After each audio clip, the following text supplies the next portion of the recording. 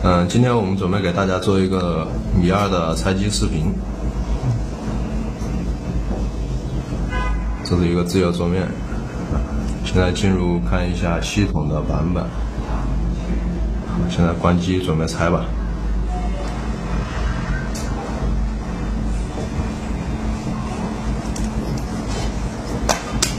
首先卸下后盖。扣一下电池。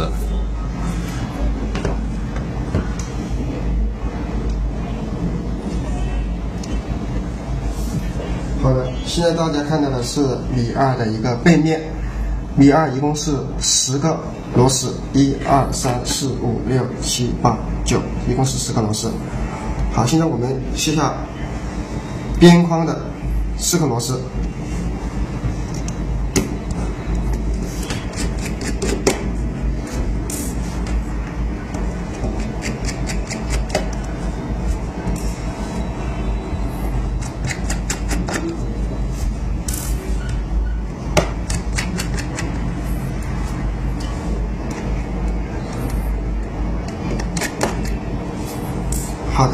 现在我们卸下当中的四颗螺丝。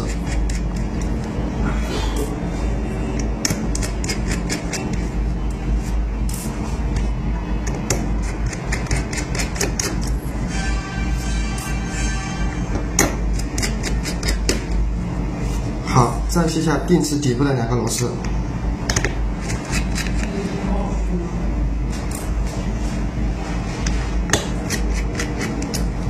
在这里，我跟大家说一下，边框的四颗螺丝和当中的四颗螺丝是不通用的啊。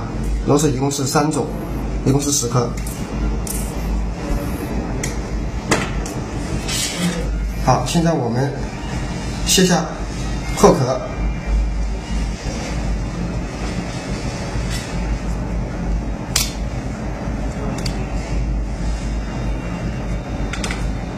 大大家可以看一下后壳的底部。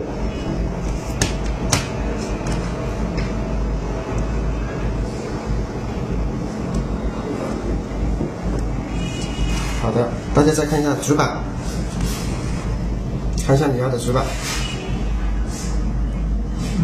好，现在我们是取下开机音量键和开机键的橡皮垫，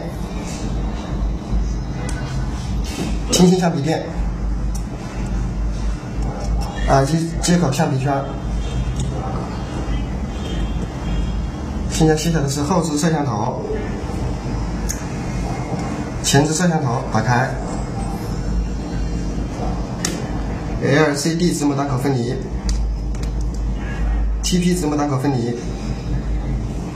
好，现在给我们呈呈现的面前的是米二的主板，送货器橡皮圈、尾插橡皮圈，以及这个是距离感应器和光线感应器橡皮圈。好的，卸下前置摄像头。好的，现在我们看一下主板的一些构造。这个最大的就不用质疑了，这个就是 CPU 和两 G 的运存，大家可以看一下。这个是闪迪的十六 G 的存取存取器。好，大家看一下这个小的。这个小的是 WiFi、蓝牙和收音机的一个多模芯片。好，大家再看一下这个芯片，这个芯片是电源 IC。这个芯片这是鸡蛋。大家再看一下这个小的芯片，这个是次电源 IC，主要是控制充电用，呃，主要是控制充电用的。这个米二和苹果五使用的是同一款芯片。好，大家再看这个芯片，这个芯片是信号放大器，这个芯片是射频模块。再看一下这个小的芯片，这个芯片是主要是控制 OTC 功能的，大家看一下。一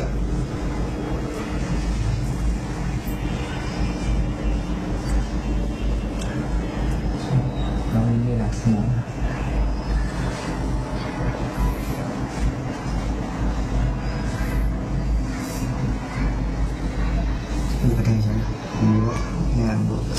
三个、四风格。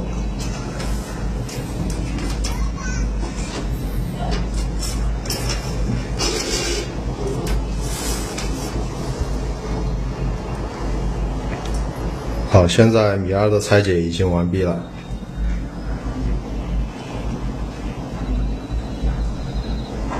感谢大家的观看。